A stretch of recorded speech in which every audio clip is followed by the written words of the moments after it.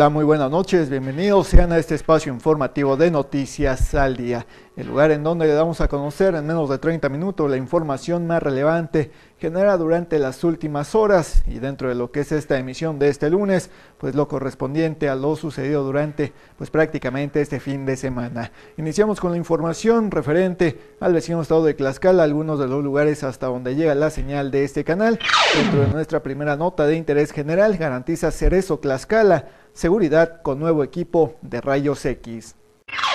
Este 8 de enero, la Comisión Estatal de Seguridad Pública puso en marcha dentro del Centro de Reinserción Social de Tlaxcala un equipo de escaneo de rayos X para visitantes, el cual se adquirió con una inversión de 3.944.000 pesos, equipo que permite la detección de sustancias u objetos que estén dentro de la ropa, alguna prótesis o dentro de las cavidades del cuerpo humano.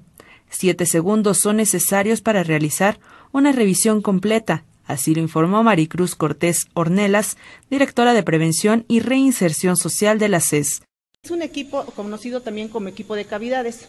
Es un equipo de inspección de rayos X eh, diseñado específicamente para una inspección corporal eh, de personas de cuerpo entero, e incluyendo las cavidades del mismo. Eh, este equipo no deja de lado la seguridad para aquel personal operativo que va a operar el mismo. Su uso no representa ningún riesgo, toda vez que les puedo comentar que eh, la radiación que emite es 44 veces menor a la que emite una radiografía de una fractura de huesos. El equipo cuenta con detectores de alta resolución y un software de procesamiento de imagen ajustado para una evaluación correcta. Los visitantes solo podrán exponerse al equipo en un promedio de 55 veces, por lo que se llevará un control estricto y bajo ciertas condiciones. Son 55 eh, veces que una persona puede pasar por este equipo en un año. Obviamente tenemos una área especializada en este centro que va a llevar ese control de cuántas veces pasa por el equipo cada uno de los visitantes eh, a este centro, así como va a llevar ese control para el, personal que lo va, lo va a operar. Se ha determinado que efectivamente las personas que quieran ingresar a este centro, siempre y cuando no tengan alguna enfermedad o que estén embarazadas o alguna algún mm, padecimiento que les pudiera causar algún daño al equipo, y esa información ya está levantada, las personas solamente en esos casos no van a pasar por el equipo. Con esto se puede llevar un control estricto y severo para detectar sustancias u objetos prohibidos. Se tramitó una licencia ante la Comisión Nacional Nuclear que nos pidió efectivamente cubrir todos los requisitos en la misma que fueron muy estrictos y al final se cubrió, nos otorga una licencia para poder operar este equipo, se adquiere con recurso federal, lo adquiere la Comisión Estatal de Seguridad y efectivamente se capacita a personal operativo eh, ya con una capacitación y una especialización para poder operar el mismo. Y ese personal que lo va a operar también está asegurado porque se brinda el servicio también de dosimetría, se contrató el servicio de dosimetría que va a medir la radiación que cada uno de los POES, que es el personal eh, expuesto, eh, para que se vaya midiendo de manera permanente la radiación que ellos reciben. Se prevé que en un futuro próximo se pueda contar con el equipo en el Cerezo de Apizaco y el anexo femenil. En el evento estuvieron presentes el secretario de Gobierno Ernesto Ordóñez Carrera, el comisionado estatal de Seguridad Pública Oreste de Jesús Estrada Miranda, la directora del Centro de Investigación y Seguridad Nacional en Tlaxcala, Alejandra Barba López, el inspector general José Alberto Salazar Vázquez, responsable del destacamento del agrupamiento de la Gendarmería en la entidad, Omar García Galeana, el comisionado ejecutivo del Sistema Estatal de Seguridad Pública Jesús Herrera Moreno, director del Centro de Reinserción Social de Tlaxcala, y Francisco Miscuatl Antonio, presidente de la Comisión Estatal de Derechos Humanos.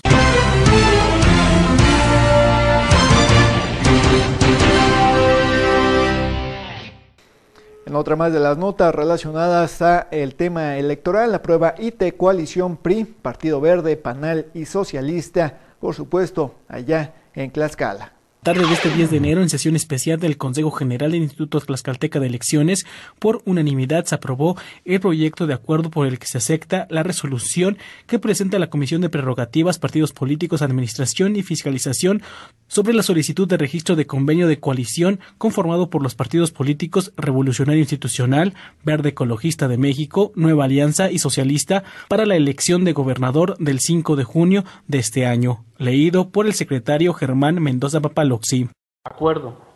Primero, se aprueba la resolución que presenta la Comisión de Prerrogativas, Partidos Políticos, Administración y Fiscalización sobre la solicitud de registro del convenio de coalición conformada por los partidos políticos Revolucionario Institucional, Verde Ecologista de México, Nueva, Nueva Alianza y Socialista, para la elección de gobernador a celebrarse el 5 de junio de 2016 en términos del considerando cuarto del presente acuerdo. Segundo,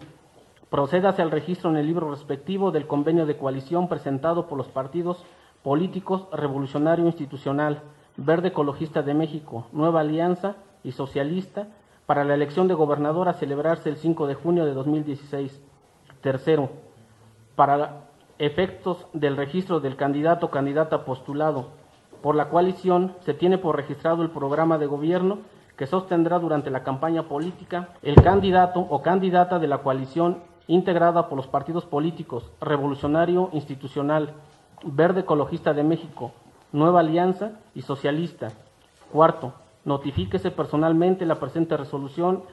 a los representantes de los partidos políticos acreditados ante el Consejo General del Instituto Clascalteca de Elecciones de los partidos políticos Revolucionario Institucional, Verde Ecologista de México, Nueva Alianza y Socialista, así como el representante de la coalición nombrado en el respectivo convenio. Quinto, téngase por notificados a los representantes de los partidos políticos en la entrevista colectiva, la presidenta del organismo autónomo, Elizabeth Piedras Martínez, detalló sobre el recurso de 125 millones de pesos que aprobó el Congreso del Estado. Se aprobaron los 125 millones, de los cuales para prerrogativas de partidos políticos son 59 millones 140 mil 629. Para actividades exclusivamente del Instituto Tlaxcalteca de Elecciones solo son 65 millones 859 mil 371. Es decir, la distribución que nosotros tendremos que hacer del presupuesto es sobre los 65 millones, no sobre los 125 millones, lo cual pues realmente es una cantidad eh, bastante complicada para poder llevar a cabo el proceso electoral, pero nosotros en este momento estamos distribuyendo el recurso de una manera en la cual la prioridad son las actividades del proceso electoral, como cuáles todo lo que tiene que ver como con documentación y material electoral que tiene eh, esto relación con las boletas electorales, la instalación de los consejos distritales y municipales, todo lo que tiene que ver con el programa de resultados electorales preliminares, con el sistema de información de la jornada electoral. Es decir, el recurso, la prioridad será para eh, actividades del proceso electoral. Por último, manifestó que esperan a unos anexos técnicos y financieros del convenio que signaron con el Instituto Nacional Electoral, mismo que ya se solicitó mediante un oficio para que en la brevedad se les dé a conocer.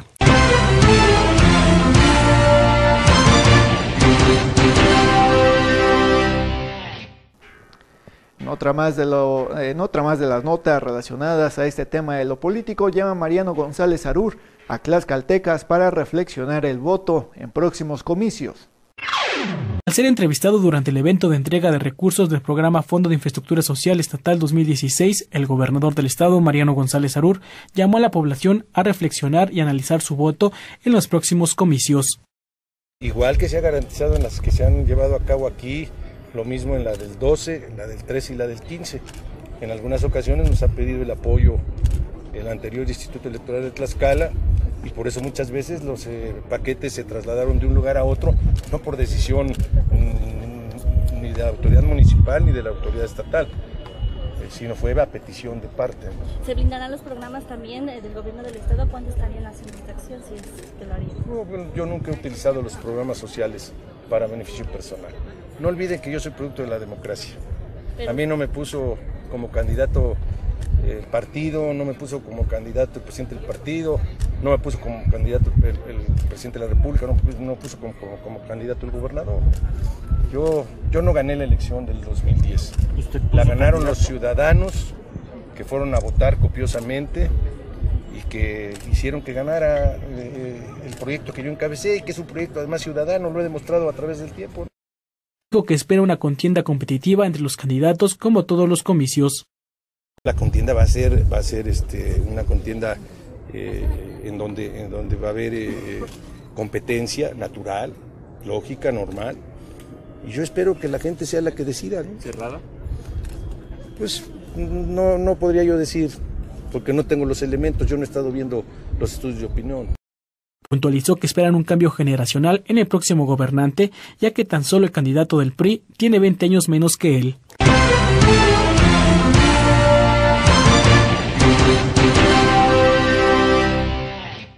Bien, pues ahí la información referente a lo que es esta zona por allá dentro del vecino estado de Tlaxcala, algunos de los lugares hasta donde llega la señal de este canal. Cambiamos de información ahora dentro de lo regional, colapsa histórico acueducto de, de, Temazcalac, parte de la estructura del acueducto construido durante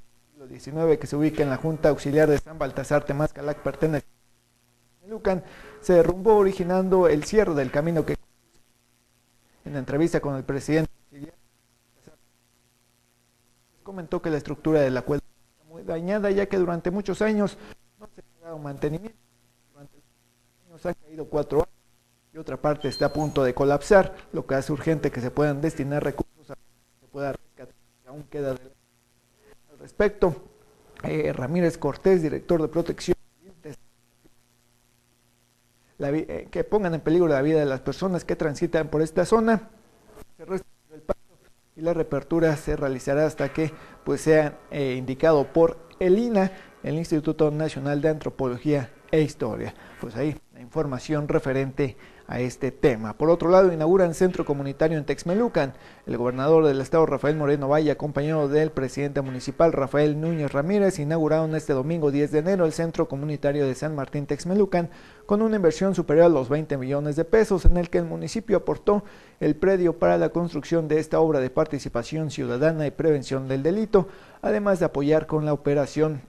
del mismo. Durante su mensaje, el gobernador del estado, Rafael Moreno Valle, celebró que el gobierno municipal tenga presupuestada una inversión sin precedente de 60 millones de pesos en combate a la inseguridad, además que se realicen obras como el centro comunitario que sirve para fortalecer el tejido social. En este recinto se impartirán talleres de emprendurismo, manualidades, actividades deportivas y recreativas. Durante esta gira de trabajo se entregaron también 74 cheques por contingencias climatológicas a productores texmeluquenses con una inversión de 157.955 pesos. Ya para ir cerrando con la información dentro de lo que es este primer bloque, aseguran a dos sujetos por robo de combustible en Texmelucan. El aseguramiento ocurrió en el camino Villalta-Temazcalac, donde los oficiales municipales de Tepetitla marcaron el alto al conductor de una camioneta Dodge color blanco a realizar una revisión de rutina, encontrando cuatro contenedores al interior de la unidad con mil litros de combustible presuntamente robado, el cual habría sido sustraído ilegalmente de ductos de Pemex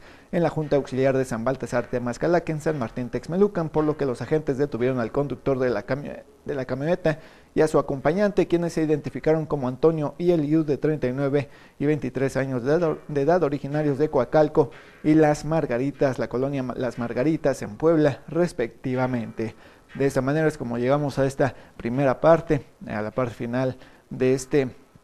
primer bloque de noticias. Lo invitamos a que siga con nosotros. Vamos a una breve pausa. Continuamos con más información correspondiente a algunos de los municipios del Distrito 8.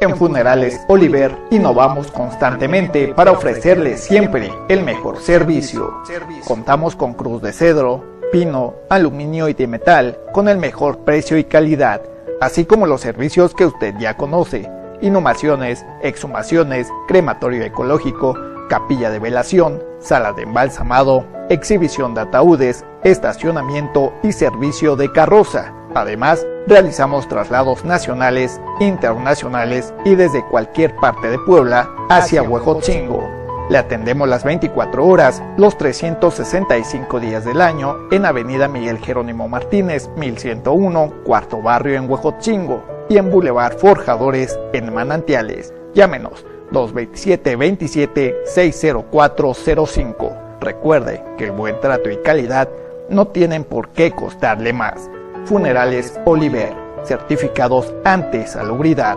Pregunte por nuestros paquetes a previsión.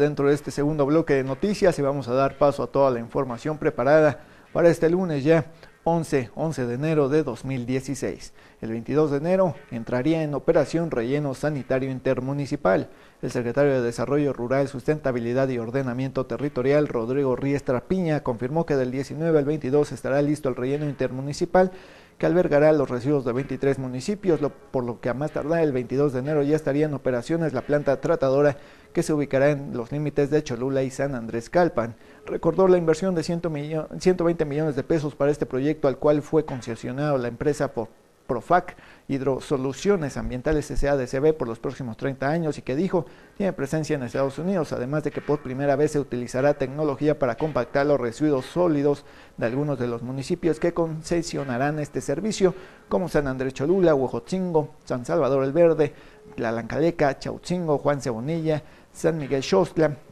San Nicolás de los Ranchos, San Felipe Totlalcingo, Atzompa, Tlaltenango, Santa Isabel Cholula, Tianguis Manalco y San Pedro Cholula, entre algunos otros. Dentro de otra más de las notas para este segundo bloque de noticias aquí en Noticias al Día, inauguran ampliación y remodelación de la Secretaría de Desarrollo Urbano y Ecología Municipal de San Andrés Cholula. El alcalde san andreseño, Leoncio Paisano Arias, entregó la ampliación de las oficinas de desarrollo urbano y ecología con una inversión de 1.700.000 pesos con recursos propios. En su mensaje, Paisano Arias comentó que es necesario que se cuente con un espacio digno para que los servidores públicos brinden atención de calidad a los contribuyentes, ya que en estas oficinas se recibe el pago y trámite de servicios municipales, protección civil, catastro, apertura de negocios, entre otros. El edil sanandreseño resaltó que estas oficinas son sin duda un referente del compromiso de su gobierno con la eficacia eh, la eficiencia, eficiencia y la innovación gubernamental para continuar haciendo del potencial municipal una realidad de transformación y bienestar para San Andrés Cholula. En otra más de las notas, dentro de otros de, los municipios, eh, este, este fin de semana el ayuntamiento y el CEMEDIV celebraron el Día de Reyes en Huejotzingo. Entre juegos mecánicos, inflables y un sinfín de actividades, este sábado 9 de enero, el Ayuntamiento de Huejotzingo celebró a niños y niñas con motivo del Día de Reyes. Al respecto, Sujei Flores Bravo, presidenta del sistema municipal DIF en Huejotzingo, dio a conocer que se entregaron algunos regalos como bicicletas, avalanchas, patines del diablo y tablets a algunos de los niños y niñas afortunados que ingresaron su carta en el buzón navideño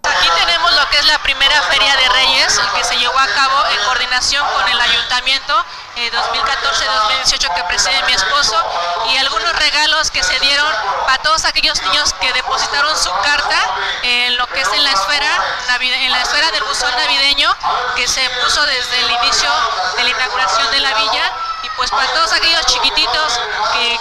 pidieron a los Reyes Magos a través del sistema municipal DIF y el ayuntamiento, pues les hicimos entrega de algunos regalos como bicis, avalanchas y patines del diablo. Y pues esta lo que es feria, primera feria de Reyes Magos, para que se diviertan, en la cual va a tener una duración de 5 horas a partir de las 12 del día hasta las 6 de la tarde, así como regalos de chicharrines, churros, aguas frescas, paletas y todo es 100% gratuito. Asimismo, deseó un 2016 de mucho trabajo, pero sobre todo mucha salud para todas las familias huejotzincas para que todos sus proyectos se lleven a cabo, pero al mismo tiempo invitó a los padres de familia a inculcar valores y dar una buena educación a sus hijos para tener buenos ciudadanos. Pues que este año 2016, que se la pasen muy bien en compañía de tus seres queridos, eh, pues que tengan un inicio de año excelente, con mucho éxito, con mucho trabajo y sobre todo con salud y que pues todo lo que realicen y tengan sus proyectos se lleven a cabo y que los padres de familia que apapachen y cuiden a sus hijos, que pues es una bendición que tienen los padres de familia y sobre todo lo que es la educación pues viene desde casa para que evitemos tantos problemas que desafortunadamente tenemos y pues a través de los padres de familia que nos puedan apoyar con los valores y pues con una buena educación para que tengamos buenos ciudadanos.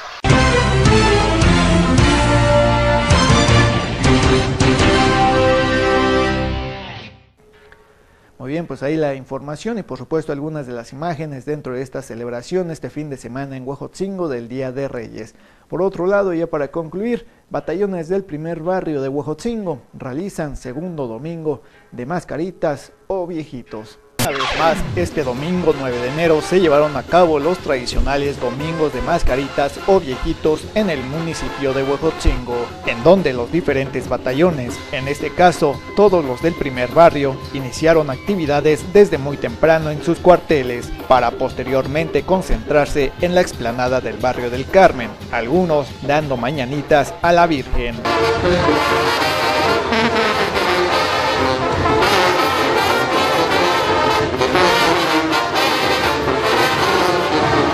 Y así, poco a poco llegándose la hora para concentrarse en el punto de reunión señalado por el general en jefe, así como del comité organizador, fueron llegando al lugar señalado y mejor conocido como la villita, para en punto de las 4 de la tarde dar inicio con el recorrido, cual duraría dos horas aproximadamente, con un descanso de 20 minutos.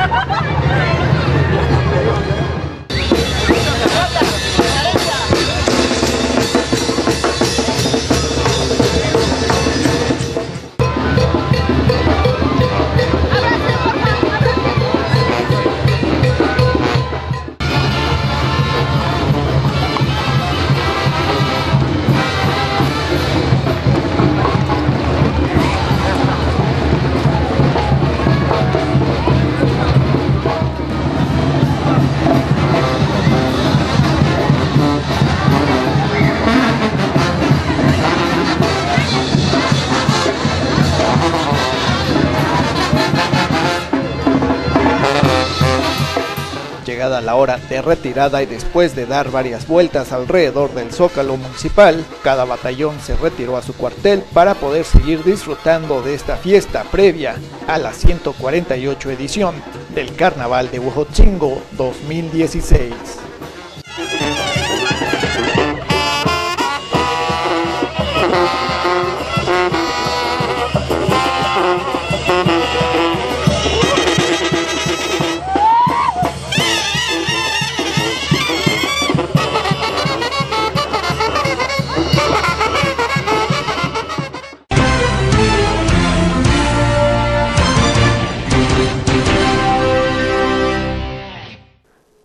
Es así como finalizamos una emisión más de este espacio informativo de noticias al día. Recuerde, cada domingo a partir de las 4 de la tarde en Huejotzingo se estarán realizando estos domingos de viejitos o de mascaritas, eh, pues correspondientes a lo que será la 148 edición del Carnaval de Huejotzingo 2016 y que por supuesto aquí le estaremos dando a conocer en cada una de nuestras emisiones, cada semana y por supuesto dentro de lo que serán los días fuertes del 6 al 9 de febrero del 2016. Esto fue todo. Recuerde, no olvide seguirnos a través de nuestras redes sociales, principalmente en YouTube y Facebook como Garco Producciones. Además, pues de seguirnos aquí a través de este canal todos los lunes, miércoles y viernes alrededor de las 9 de la noche para que conozcan en menos de 30 minutos la información que se va generando día con día. Mi nombre es Omar García y esto fue todo. Esto fue Noticias al Día.